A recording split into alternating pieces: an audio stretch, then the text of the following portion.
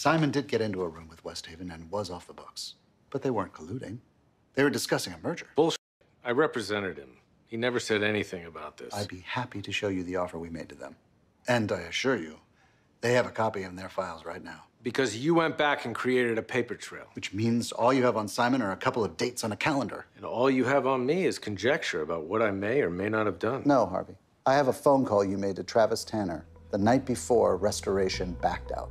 Turns out Travis just happens to represent the competitor of Simon's that was drawing up an offer to Restoration when Kessler backed out. Do you think Tanner will protect you when I get him on the stand? You son of a bitch. Oh, no.